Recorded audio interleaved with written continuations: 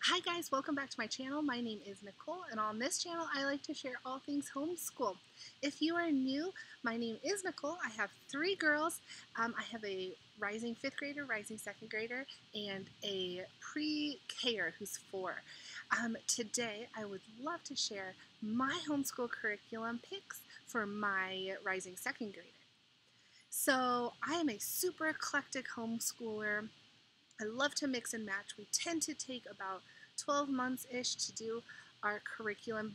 Um, we go year round when we can, and that way we can take um, field trips and um, days off when we need them. Um, we do a lot of field trips, and my girls also do two days of enrichment, which is crazy. I don't know how much longer I can keep that up, but they do do two days of enrichment as well, so it takes us a little bit longer to get through our chosen curriculum. So like I said, today I'm going to share my second graders homeschool curriculum picks. Um, I'm really excited. I think that this year is going to be really stellar. We had a couple changes in the middle of first grade, so we have a couple things that are moving along with us um, into second grade, and we'll just move to the next level when um, she is done with the current level. And that's kind of just how I roll. I go one lesson at a time and just keep going until um, we need to move to the next. So let's start off with a bang. The first thing we are going to be doing is, I'm sorry, I have a box over here, is the first thing we are going to be doing is it's going to be the Zaner-Bloser Spelling Connections, a word study approach to spelling for second grade. This curriculum is amazing. It comes with two um, books. It comes with an instructor guide with all kinds of information for the teacher and, of course, the answers. And then it has the, um, sorry, my dog's in the background running around. Um, and then it has the workbook. My oldest daughter has been doing Zaner-Bloser spelling and we love it. It is amazing. It has the word study approach, like I said. Let's see if I can find um, excuse me. So it is divided up into units. So for instance, this is unit 7. It will have the list of words, then it will have phonics practice, and then it will have reading um, and writing with those words. And then it will have word study and then connections. And this is really been great for my oldest who does struggle with spelling. Um, and so I think it's going to work really well for my middle daughter as well. She has tried um, Spelling You See and Abeka Spelling, and neither one really worked that great for her. So I'm really excited to see if um, this is a better fit for her. Next, kind of to go along with that spelling and stuff, is I got this workbook. Um, she's going to think it's fun. It's called Daily Word Ladders, and um, it will start with a word. So this one it says cow, and then it will say a small bed that can be folded and put away. Change the last letter, and you change it to cot. And you work your way up. She will love this. She loves logic books, and she loves this kind of thing. And so this is just fun. It won't really be necessarily put on her schedule. It will just be something she can pull out when she needs to do some independent work or um, she wants to do it. Next, and this will be my first year trying this specific curriculum, is Geography, 180 Days of Geography with second grade. We have done Evan-Moor Geography um, every other year of homeschooling, and it's okay. I do like how it's colorful. This geography is black and white, but when I looked through it, I really liked this. It says that it is um, includes uh, the world in spatial terms, places and regions, physical systems, human systems, environment, society, and the use of geography. So I think this will be great. Um, I have realized that, you know, geography is a tough concept for our kiddos, and so I think that this is going to be a great um, addition to our homeschool, and I hope she likes it better than um, the one we've used previously. For handwriting, we will be using um, the Good and the Beautiful Handwriting Level 2, it is still manuscript. She really likes it, and so that will be fun. Next, we will continue to work through easy grammar. This is kind of another one of those um, she does on her own. We just started doing it again on her own. It has um, just a sheet of work they do. They do like a capitalization, punctuation, there's a little bit of a lesson, and then there's a sentence um, that they fix. And this has worked really well for her. This is the teacher's edition. I didn't even realize I pulled that out. Um, but it has worked really well for her. Um, and it's something, again, sometimes I need work that she can do independently while I'm working with her sisters or while I'm doing other things. And it's something she can do and it's worthwhile. Okay, so the meat and the potatoes of her curriculum, kind of jumping around a little bit, is going to be Abeka. We are using Abeka level 1 right now for language arts. We are chugging along, we're getting close to halfway through, so this will definitely keep um, us busy until probably, I would say, around the Christmas holiday, maybe January.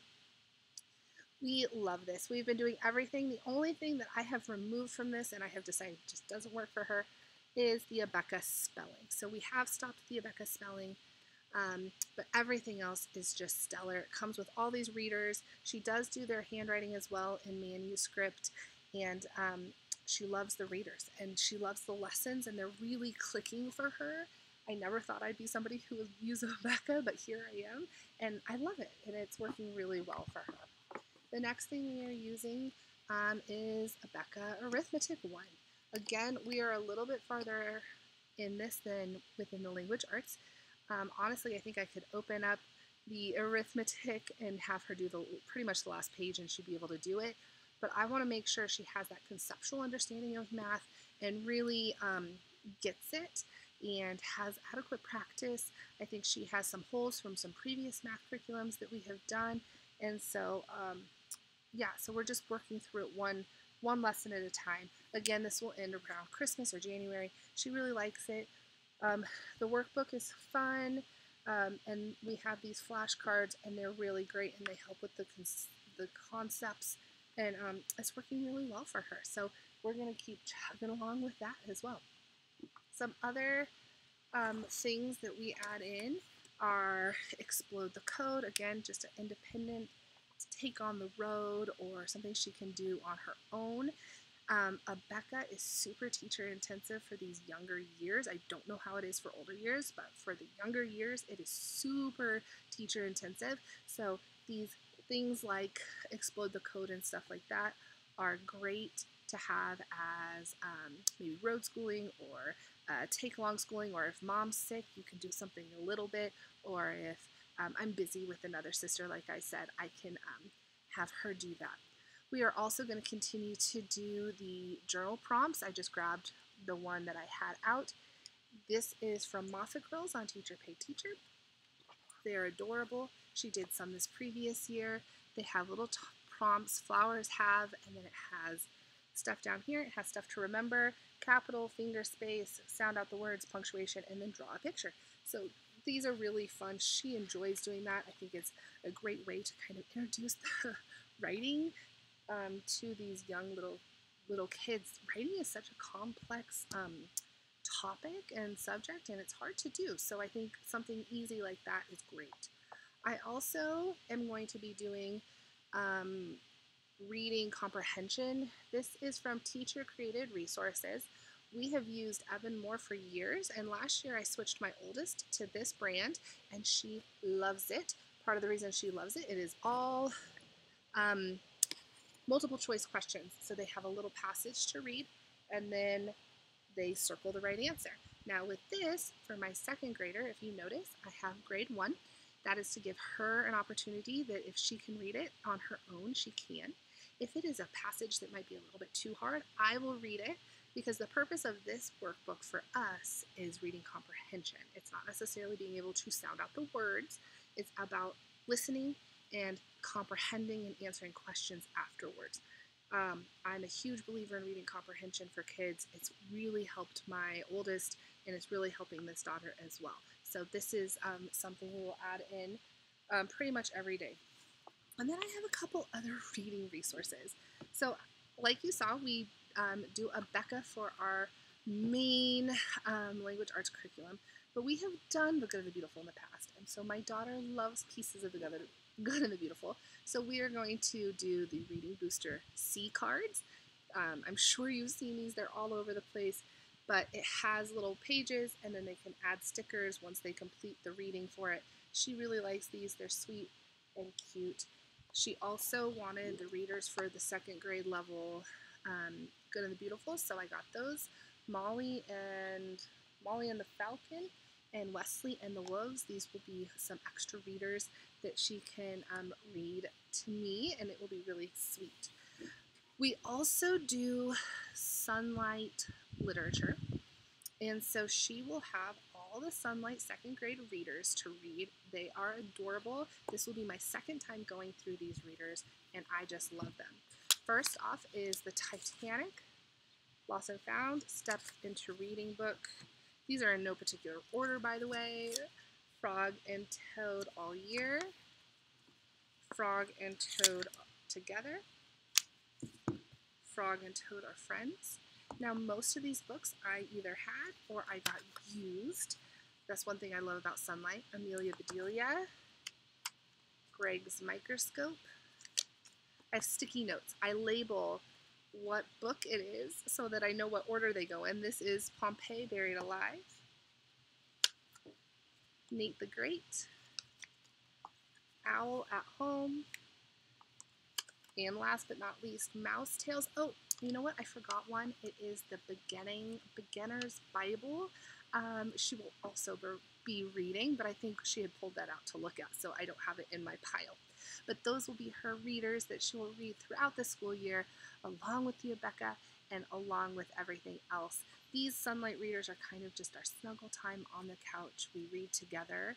Um, Abeka readers, we read during the lesson.